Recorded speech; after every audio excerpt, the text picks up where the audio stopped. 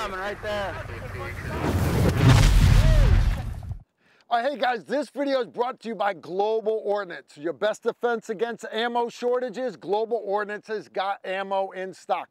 So whether it's ammo, optics, guns like this Stribog 9mm subgun or that Radikal NK1 Bullpup 12 gauge semi-auto, Global Ordnance has got you covered.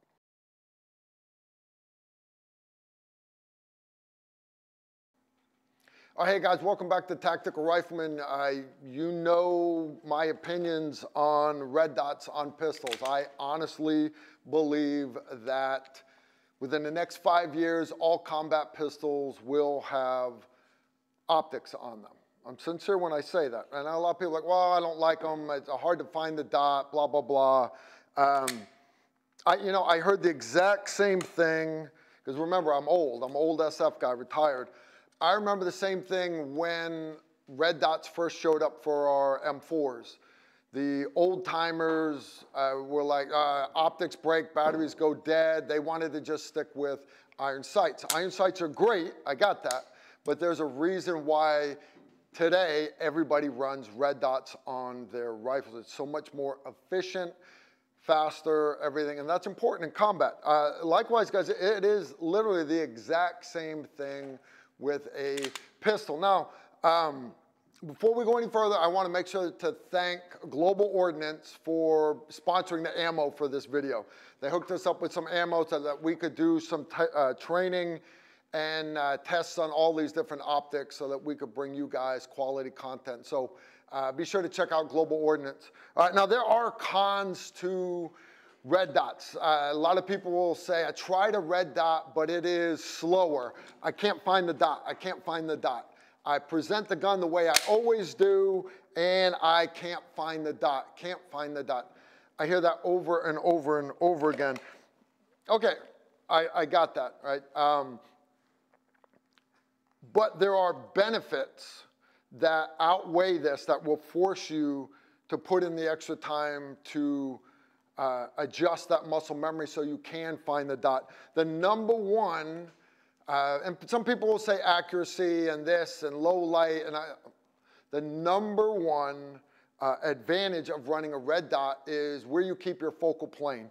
Now, what I mean by that is, again, iron sights, right? Um, when you present that firearm, you, you, uh, you have focus on that paper target, right? You're in that competition, whatever, and as you present, you line up that sight picture, front sight lined up with the rear sight, and that's where you keep your focus. You'll hear people say the catch term is front sight, front sight, front sight. They always want you to focus on the front sight.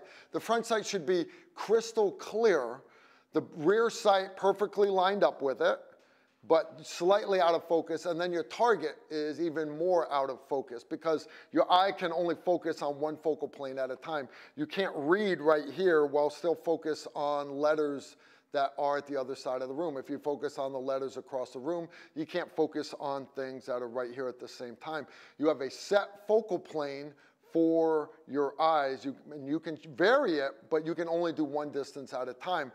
So for shooting pistols, everybody says you need to keep that focal plane, that point of maximum crispness, right where that front sight is. That's where I need to be focused, right there. And if you do that, if you have that perfect sight picture with iron sights, you can then drive it from blurry paper target to blurry paper target to blurry paper target and you'll get hits. Because if you're anywhere on that blurry target, if the iron sights are perfectly aligned, you're going to get hits on that target. That's how it works.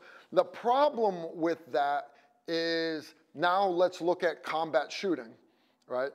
Uh, because not only do I need to be able to put it, the perfect sight picture on that target, I need to be able to identify, is it a threat, is it not a threat, but is it a threat that warrants deadly force?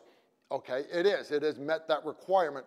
Okay, perfect. But I still need to be able to follow through. So I have my focal plane perfect sight picture. I pull the trigger. I now need to move my focal plane to the target. Did I get the desired effect? Because if I didn't, I need to send more love, in which case I need to move the focal plane back to the sights. Pull the trigger again. Now I need to move that focal plane back to the target. Now, you can do that. It takes a lot of practice, but your eye physically is capable of moving that focal plane back and forth, back and forth, back and forth. You can master combat shooting with iron sights. People have done it for decades. They have. It works. Now let's throw in fight or flight because there's a lot of people, there are a lot of uh, schools of thought out there that, well, you don't use sights uh, in a real gunfight because you're too scared. Now, uh, almost all professional instructors will disagree with that. You have to fight through it, but you can move that focal plane back to the target. But it's very, very hard to do, and it takes a lot of training to do that. Now, and what they're talking about is when you're scared, when you're really scared, you're not going to be able to take your eyes off of that bad guy. You're not going to be able to take your eyes off of that bad guy. So in other words, your focal plane is going to stay on the bad guy. So now when I present that gun with my iron sights, I'm supposed to be focusing on my front sight, but I'm in fight or flight. I'm focusing on him instead of the target being blurry. My sights are a little bit blurry. I'm still able to get hits because I have so much muscle memory presenting that firearm in training. So that in fight or flight, if I keep that focal plane there, I'm still able to get hits because my sights are blurry. It works, it has worked for decades. Now, so fast forward to iron sights, I mean to red dots, just like with a rifle, what we found is entering into that room doing close quarters battle, as I come into that room, wherever I see that threat, I can keep my focus on that guy. And as I bring that weapon up, my red dot parallax-free uh, weapon sight, it's, I, I see that red dot on that focal plane that the bad guy's on.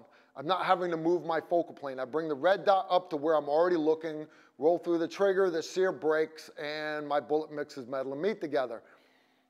Same thing with a pistol. So now, as I'm presenting, I'm still able to focus on that bad guy.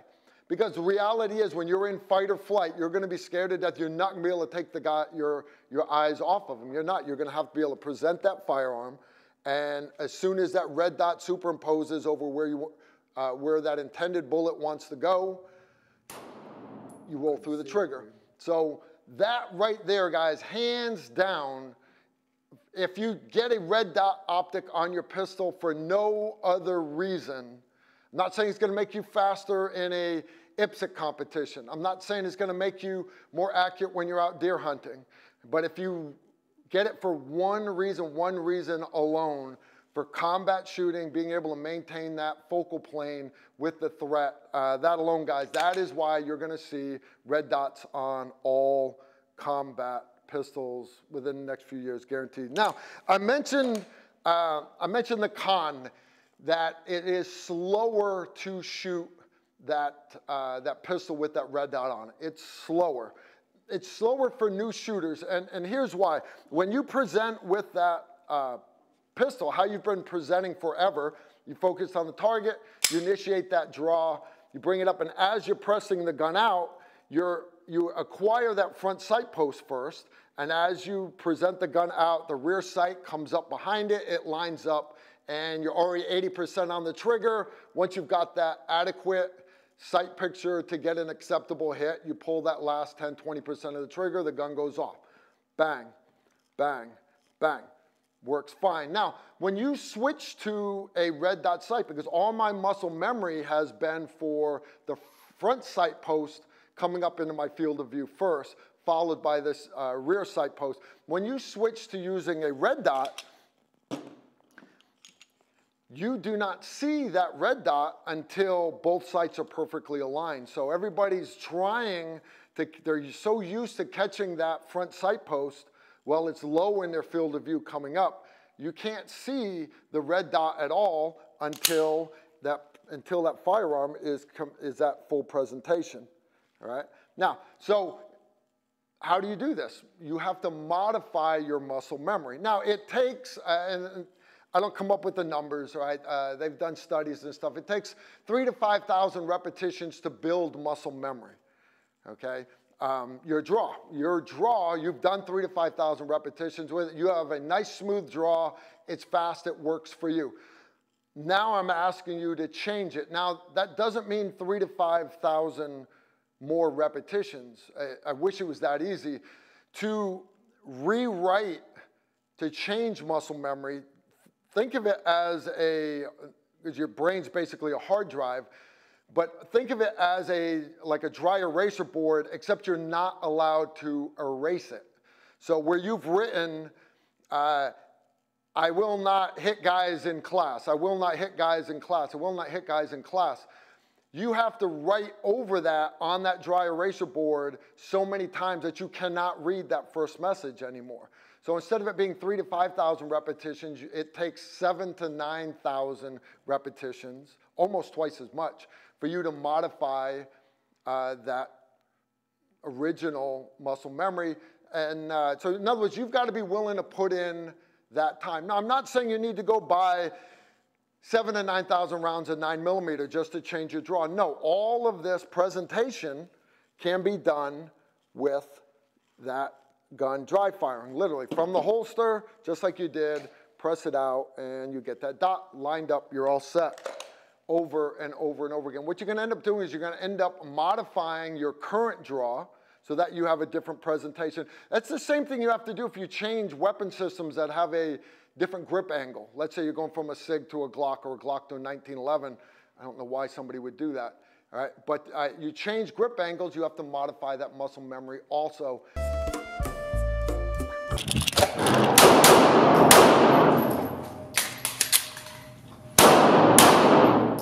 The con that, well, it's slower, I can't find my dot, that's on you. You need to, instead of just putting that red dot back down and saying, well, th this is a, uh, I can't do it, it's not for me, I'm gonna stick with iron sights. Okay, you can do that. You can be that old guy back in the 90s that didn't want to put a red dot on his firearm. You can be that guy. But I challenge you to do the right thing. Invest the time and modify your muscle memory so that you can use that red dot optic, right? Um, all it takes is practice, and you'll find that your draw is going to be just as fast. Nothing has changed, right? You're faster with a red dot on your rifle than you are with iron sights. You're going to find that you're going to do the same thing with your pistol if you're willing to invest the time. Now, there are different reticles. Uh, Pete went over the different reticles and stuff and why different ones are which. We have other videos here on Tactical Rifleman uh, dealing with red dots. We've got more coming in the future, night shooting, all that stuff.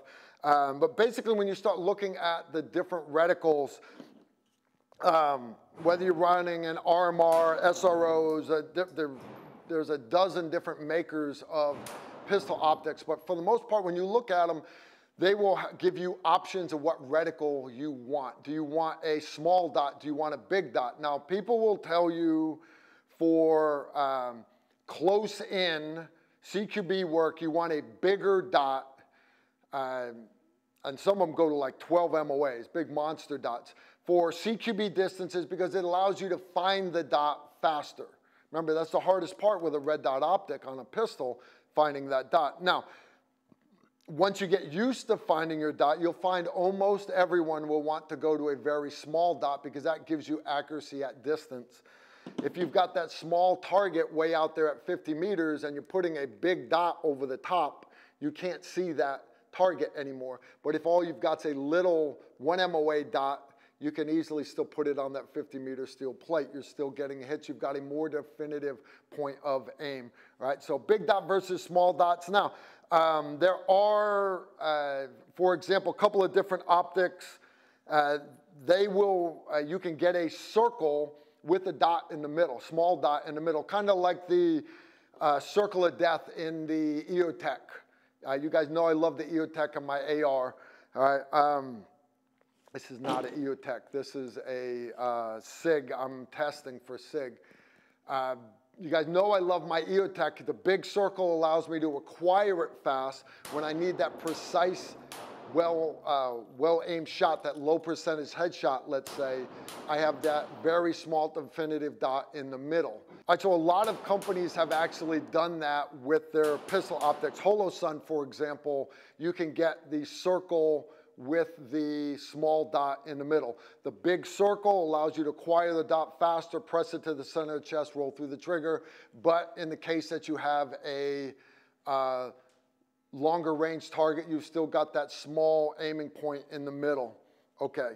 A lot of guys will actually, if, if all you have is a small dot, uh, a lot of guys will run it overly bright, and that gives them a, a blooming small dot that looks large. A lot of guys will run that. Some companies also have what's called a chevron. It'll be a, uh, a basically upside down V, a chevron. All right, now, the advantage of the chevron, I've heard a lot of people say they don't like it. Here's the deal.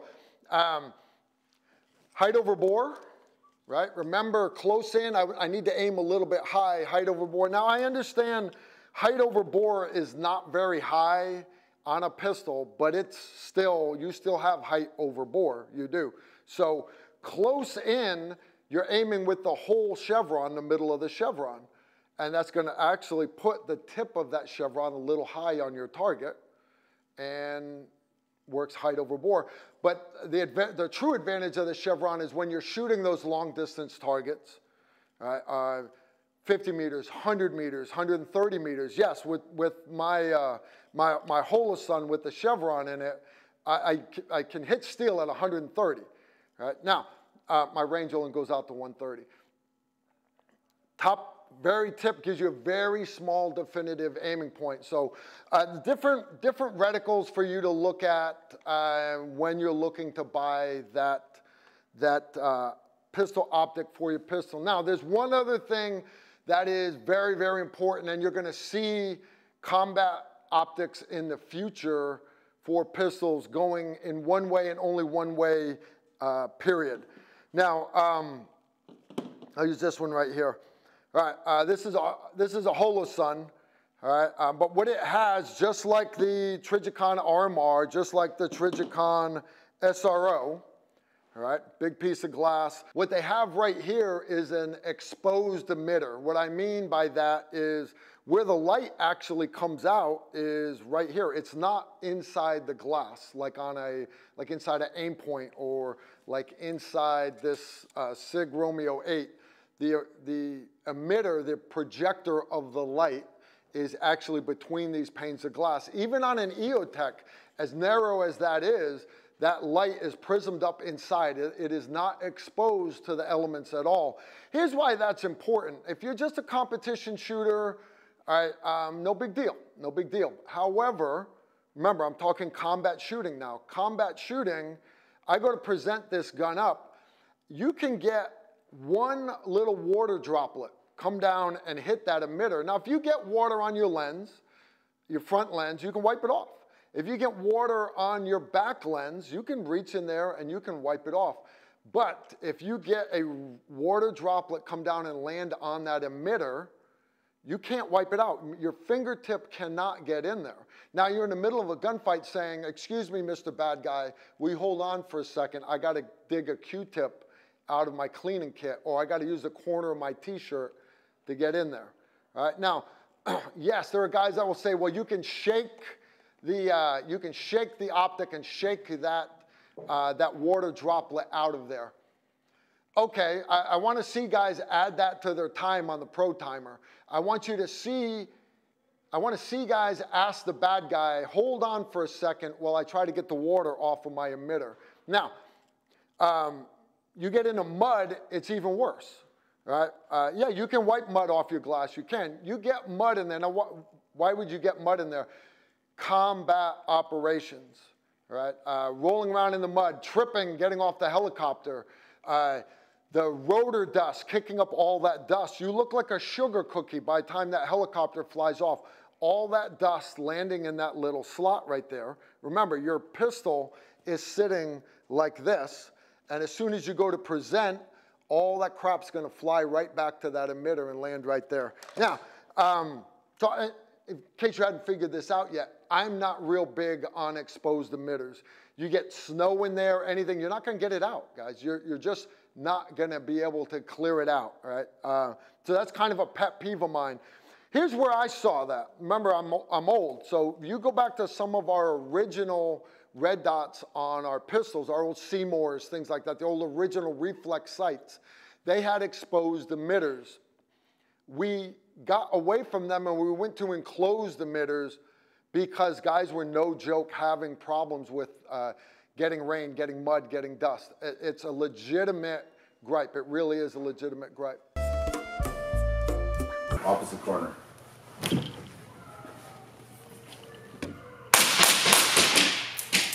All right, so just like we did with rifles, we went to an enclosed emitter. Uh, there's a couple companies out there that have enclosed emitters on pistols now. First, the standard. Everybody loves Aimpoint, right? This is called the Aimpoint ACRO, uh, also known as the mailbox. It's big, it's ugly, I got that, but it is, in, it is an enclosed emitter. It's got glass in the back. There's no way snow's getting on this thing. There's not, there's just not. Now, uh, Holosun also has an option, uh, slightly smaller, actually quite a bit smaller, uh, that I run on one of my pistols. It is, it's enclosed. The emitter is not exposed. You can dunk this in water. You can have rain on it. You can have snow, mud, whatever. It's not going to get on the emitter. Now, I want to caution people about just buying the ones that have lids over the top of them.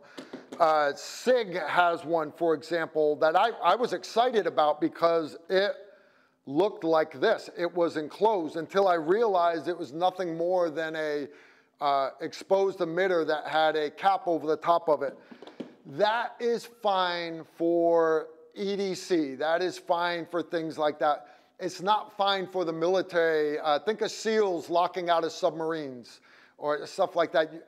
Uh, water, pressured water is going to get up inside that thing. Now he comes up out of the swimming pool, for example, that water is just not going to drain. So try to stay, if you're going to invest the money on a enclosed emitter, get one that's sealed, not unsealed.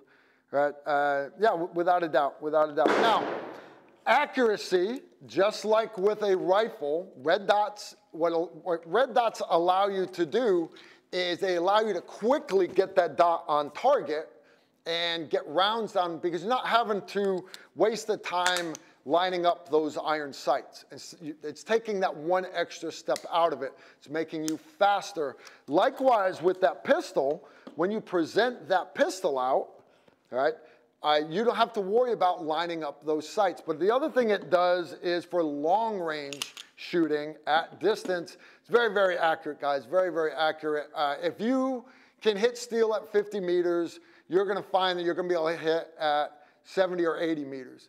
If you can hit steel at 100 meters with iron sights, you're going to see you're going to be able to get 120, 130 with it. It really does. It's going to give you, and there's a couple other uh, tricks to it to do better alignment. I actually sit my front sight post right below the, uh, the opening of my chevron, and uh, it tends to remove a little bit of the parallax for me. So there are things. Now, um, Another thing you guys need to consider is for night shooting, but we're, I'm gonna save that for another video. We're gonna do a whole nother video just on night shooting that you can find in our video archive, night shooting with red dots, right? Now, battery life, not all batteries are created equal.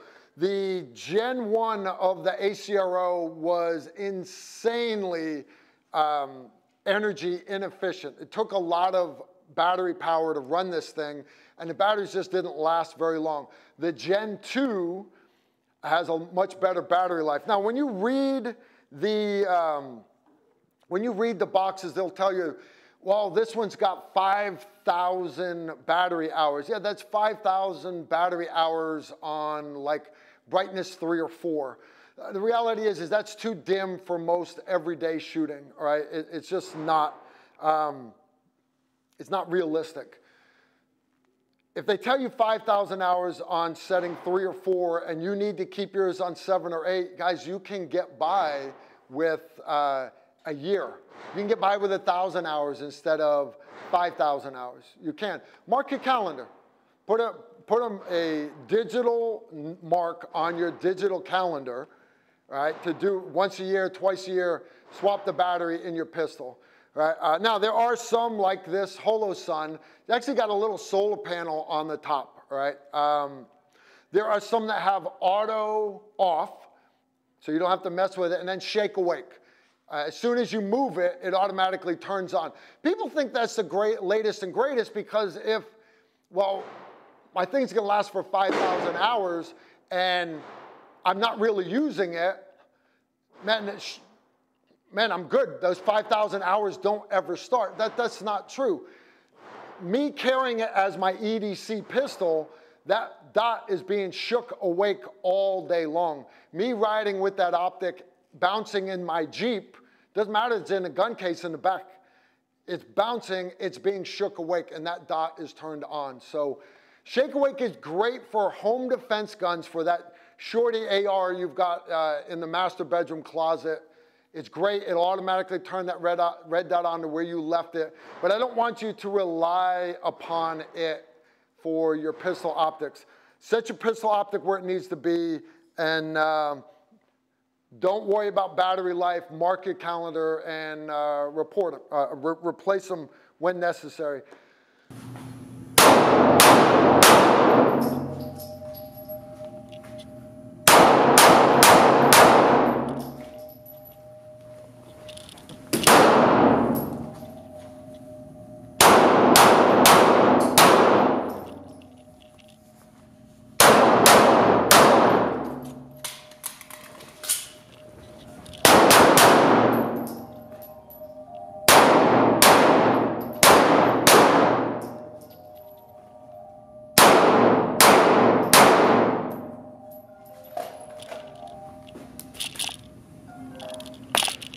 Wow, I'm having a hard time finding that dot.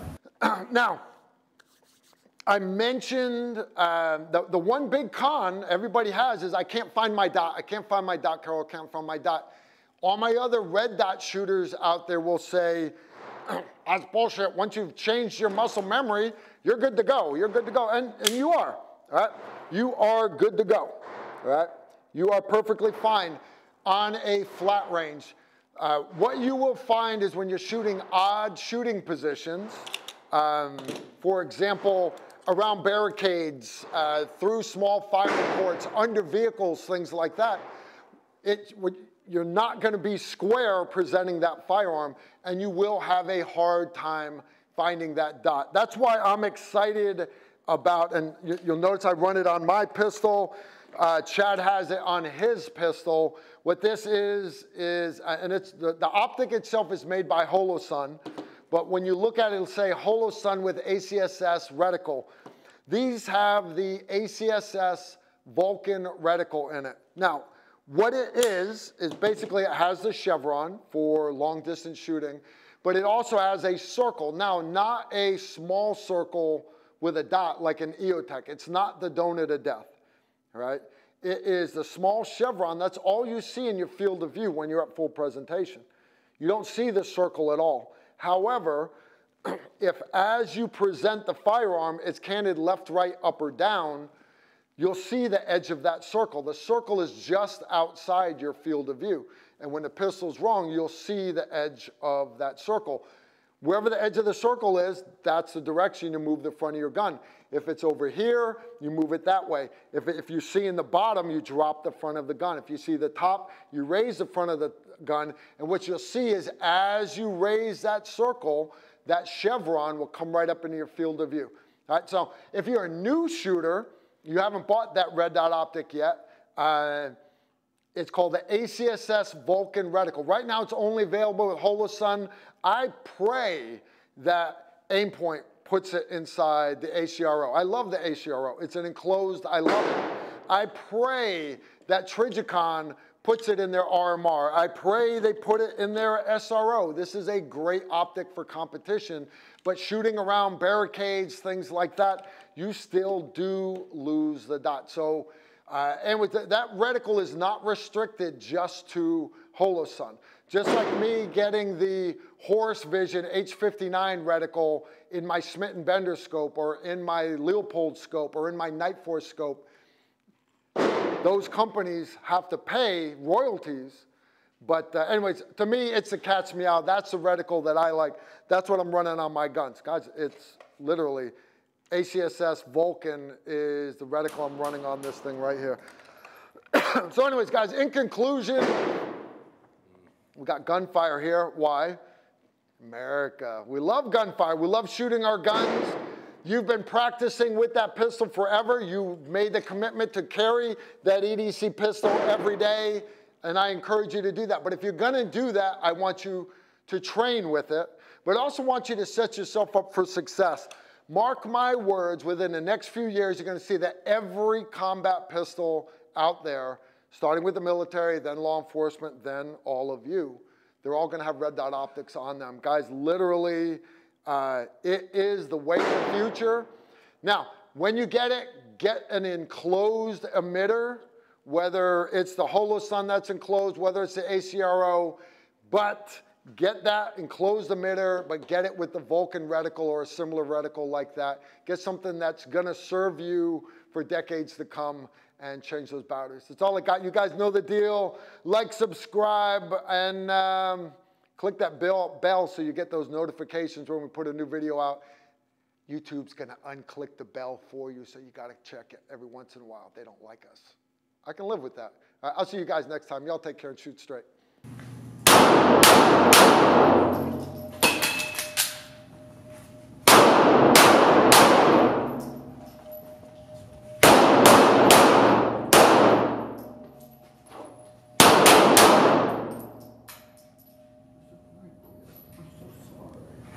I'm so sorry. I'm so sorry. I'm so sorry. I'm so sorry.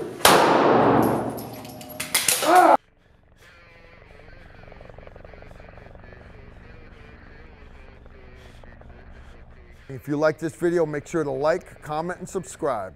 Also, make sure you follow us on Facebook, Instagram, and Twitter so you don't miss out on anything.